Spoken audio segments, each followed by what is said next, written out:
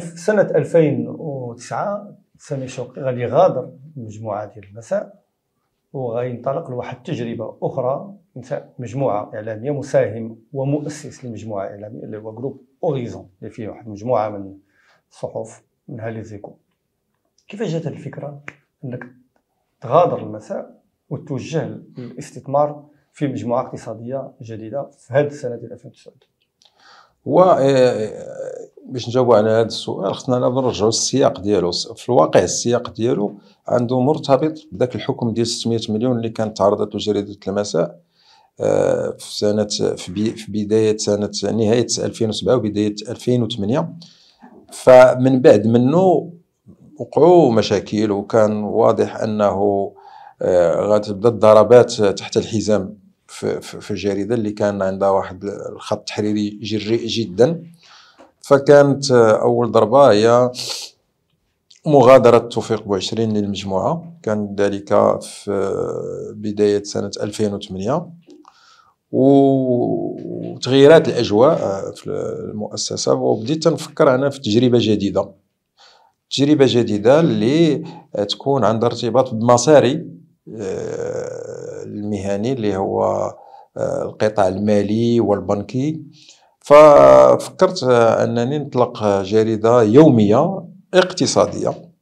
فجات فكرة جريدة ليزيكو في سنة 2009 وفي يونيو 2009 غادرت جريدة المساء. آه، لأشتغل على هذا المشروع وأطلقه. وكان الانطلاقة ديالو في 16 نوفمبر 2009 نعم، شو اللي حفزك يعني؟ شو اللي حفزك أنك دير هذا واللي حفزني اللي حفزني هو اولا أنا خديت تجربة. منين منين آه، التحقت بتجربة المساء. تجربة المساء كانت مهمة جدا. آه، فتحت لنا بزاف ديال الأبواب. عطاتنا شبكة علاقات قوية. بحكم كنت أنا الذي أدير الشؤون العامة والشؤون الإدارية والتجارية فكان عندي علاقات وطيدة بالمعلنين وبرؤساء ومدراء وكالات الإشهار. وكتعرف في قطاع الصحافة هذه العلاقات هذه مهمة لأن هي اللي كتساعدك أن يكون عندك نموذج اقتصادي يمكن يعطي الحياة للمشروع. فكنت أنا استشرت مع بعض آه، الأصدقاء اللي كانوا في ما بين المعلنين والوكالات. طرحت عليهم الفكرة فحفزوني وشجعوني وقالوا لي فعلا القطاع ديال الصحافة الاقتصادية بحاجة ليومية أخرى لأن كانت يومية واحدة اللي هي ليكونوميست فقالوا لي كاينة البلاصة اليومية أخرى اللي تعطي آه، الخبر وكاين المغرب في واحد صيروره ديال التحرك الاقتصادي فكاين المجال. هذا شجعني. إنما منين منين وضعت النموذج الاقتصادي للمشروع؟ كانت التكلفه يعني تكلفة كبيرة, كبيرة. آه، وأنا الإمكانيات الذاتية ديالي ما كانتش كتسمح لي نمشي في المشروع بوحدي. فكنت فكرت شكون يمشي معايا في المشروع و كشركاء. كشركاء. فأول شخص فكرت فيه في الواقع هو مولاي حفيد العالمي اللي كان صديقي أنا. ذاك كان كان مازال ماشي وزير. في 2009 حنايا كان آه، تعرفت عليه في قطاع الصحافة وربطنا صداقة. وكنتذكر نهار طرحت عليه الفكرة هو كان عنده ذكي جدا في قطاع المال والأعمال حتى عنده واحد السرعة ديال البديهة. كنتذكر لما أنا كنت اتصلت به بالهاتف وقلت له راني آه، محتاج نشوفك ونديرو شي موعد. راه عندي ما نقترح عليك بهذه العبارة. هو كان في الهاتف وما كانش خصو ياخذ الوقت بزاف لأنه كان هو في اجتماع وجاوبني. قال لي شوف أنا راني في اجتماع ولكن باين لي هادشي اللي بغيتي تقترح عليا شنو هو؟ قلت له شنو؟ قال لي ما تكون باغي دير شي جريدة. راه بحال هكا بهذا الحديث. قلت له هو بحال داك الشيء ولكن من نتلاقاو ممكن نقول لك التفاصيل. قال لي واش تيش؟ أنا نقول لك أنا من دابا. شي هذاك قطاع الصحافة أنا راه ما صالحش ليا ولكن إلا كنتي انت اللي غادي ديرها vas-y je suis avec toi بهذه العبارة. قال لي سير أنا معاك. وكنتذكر فعلا بهذه الكلمة الكلمة اللي قال لي سير أنا معاك فهو بقى على هذه الكلمة سير بقى دائما معايا وبقى مع المشروع والمشروع اذا كان يعني المشروع دخل معك شريك في دخل معايا شريك وكانوا معنا شركاء أخرين اللي هما في القطاع المال والاعمال وكان هو كان الشريك الرئيسي وكان بصراحة مدعم للتجربة إلى أقصى الحدود دون أن يتدخل يوما في في الأيام بخطه التحريري هذا للأمانة. وحتى أنه منين ولا وزير سنة 2013 دونك هذه للأمانة التاريخية كانت الجريدة يعني عندها استقلالية تامة. آه، بطبيعة الحال تم الاتفاق النهار الأول على الخطوط الكبيرة اللي حنا كلنا كنآمنوا بها واللي هي المقدسات ديال المملكة ما عدا ذلك فكان عندنا الحرية الكاملة كنكتبوا داكشي اللي حنا كنا مآمنين به. فانطلقت تجربه لي زيكو مجموعه الإعلامية ومشات الحمد لله كيف ما كان متوقع لها رغم صعوبة القطاع أن انطلقنا في مواقع إلكترونية يعني. كانت هي وكانت من بعد آه كانت واحد مشينا في بداية الفورة الإلكترونية. حنا خلقنا جريدة ورقية. نعم. الوقت اللي بدات الأزمة المقروئية ديال الصحافة الورقية. ولكن مع ذلك استطعنا أننا نخلقوا مكان لجريدة ليزيكو ونخلقوا مواقع إلكترونية أخرى اللي كانت مكملة. نعم. بالنسبة لهذه التجربة واش يمكن نقولوا بأنها كانت آه، مختلفة على تجربة المساء أو لا هي مكملة لها؟ وعلاش ما ما فكرتيش في اللغة العربية واختارتي اللغة الفرنسية.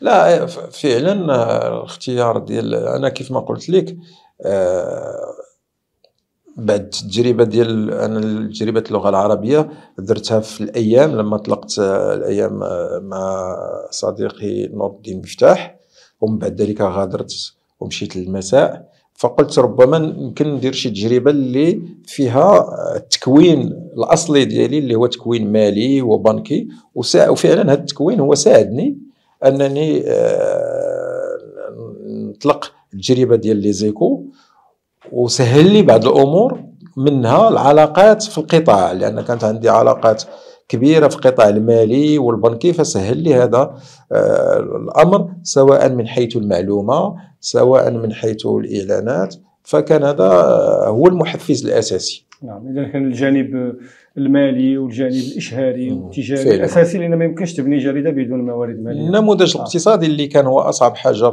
في الجريدة آه، كيف ما كانت ولا المؤسسة الإعلامية. ف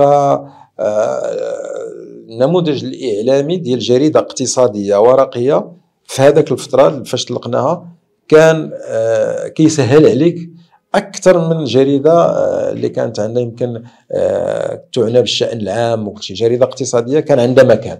نعم. طيب في هذه في هذه الفترة شنو أبرز الأحداث اللي عشتيها في هذه التجربه يعني المساء كان كما قلتي كل يوم كل يوم حدث. نعم. في ليزيكو شنو ممكن الأحداث أو الدروس اللي يمكن استخلصتيها؟ لا كانت أحداث كثيره لأنه جريدة اقتصادية إحنا كانت عندنا بنفس. آه نقدي وانتقادي فكان آه كنا كنتقدوا كان عندنا حرية ديال آه في الخط التحريري. وكنا واكبنا آه، الربيع العربي وخطاب 9 مارس والتحولات اللي جات من بعد. فاحنا كنا واكبنا ما قبل وما بعد. آه، بنفس انتقادي بنفس اللي تيبغي يجعل من المغرب أنه يكون قبلة للاستثمار آه، يكون الاقتصاد ديالو آه، رافع للإمكانيات اللي كيحظى بها المغرب. كنا كذلك ننبه إلى أن اقتصاد الريع ممكن ماشي ممكن ما كانش توترات ما كانش أحكام كانت لا لا كانت أحكام قضائية وكان عندنا كان عندنا إحنا أكبر حكم قضائي في تاريخ المغرب. ماشي حكم قضائي هو طلب نعم. فاحنا كانت مجموعة الضحى رفعت شكاية ضد جريده ليزيكو طالبت ب 20 مليون درهم.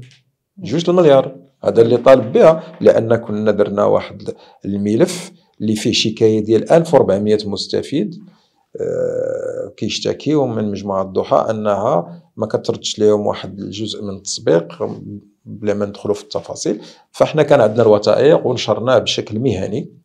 وهما ما استصغوش الأمر لأن جا داكشي في الغلاف وفي الصفحة الأولى وجريده مقروءة في أوساط المال والأعمال.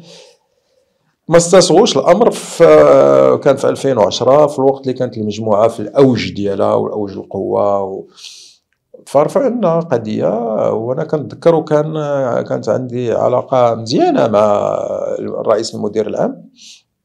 في خدم الدعوه كنت تلاقيت معاه في واحد المؤتمر دولي في هنا في المغرب وقلت له واش انت واش انت بعقلك؟ كطالب بجوج المليار من جريدة مغربية. قلت لي حنا راه ماشي واشنطن بوست راه لي زيكو.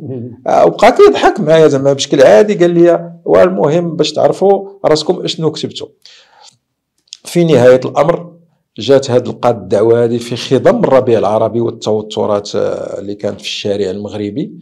فلما كانت أول جلسة لهذه القضية جاو هذوك 1400 متضررين داروا وقفة احتجاجية مساندة للجريدة وضدو ورفعوا فيها الصور في السياق ديال 20 فبراير. نعم. ما عرفت واش هو بوحدو ولا قال له شي واحد آه، حيد هذا الشيء. المهم اتصل بنا المحامي ديالو جمعنا وطوينا هذا الشيء بشكل بشكل ودي وسحبوا وسحبوا الدعوة. هذه من القضايا الكبرى اللي كنا تعرضنا لها وبطبيعه الحال كاينة أمور أخرى اللي آه، أحيانا أكثر من قضية لأن لما كيسحب لك واحد المعلن آه، إعلانات وأنت عندك آه، عندك ال bon de commande وكل شيء كيجي كيسحب لك علاش؟ على قبل قال هذه تعرضنا لها مرارا وتكرارا من مؤسسات عمومية ومؤسسات قطاع خاص لأن الناس ما عندهمش واحد نفس طويل لتقبل الانتقاد ثقافة تقبل وخصوصا في الجرائد الاقتصادية يمكن كانوا ولفوا واحد النمط ديال التسامح آه، ولا التساهل ولا غير تمرير بحال ماشي ماشي مقالات نقدية بحال مقالات عبارة عن آه، دوك les communiqués de presse. بلاغات صحفية نعم.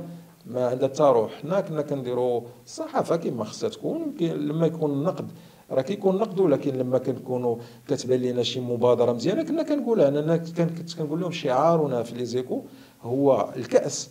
ما تنشوفوش النصف الفارغ ولا النصف المملوء تنشوفوهم بجوج وكل واحد تنعطيوه حقه. نعم. donc هذا الشيء اللي كاين بالإضافة أن واكبنا كانت في الفترة ديال التجربه اللي جا فيها عبد الإله بن كيران. عبد الإله بن كيران كان رئيس حكومة وكان من القارئين جريدة Les Éco شحال من مرة كان كيعيط لي 8 الصباح. عمود. تقول لي سي سمير أنا ما متفقش معك في هذه علاش درتي هذه وهذه؟ وكنا كنتناقشوا بصراحة بكل موضوعية وما كناش كنتفقوا في بعض الأمور وكنا كنتفقوا في أمور أخرى. ولكن كان كيتقبل النقد. ولو أنا تنقول أنا ما متفقش معك في هذه كان كيتقبل النقد وبعض الأمور اللي ساندنا فيها انطلاقا من قناعة اقتصادية بحال الرفع الدعم المحروقات كنا دافعنا على هذا الموقف لأنه كان في مصلحة المغرب وحنا انطلاقا كجريدة اقتصادية كنا كنقوموا بالتحليل ماشي الشعبوي الموضوعي. كنا كنقولوا في هذاك الوقت كانت آه، صندوق المقاصة فيه 57 مليار ديال الدرهم ولا ما وقعاتش آه، هذا الرفع ديال آه، الدعم. راه بعد ثلاث أربع سنوات غنوصلوا ل 100 مليار ديال الدرهم. نعم.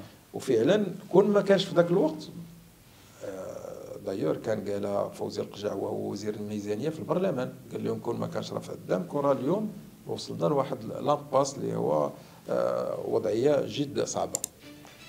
شكرا.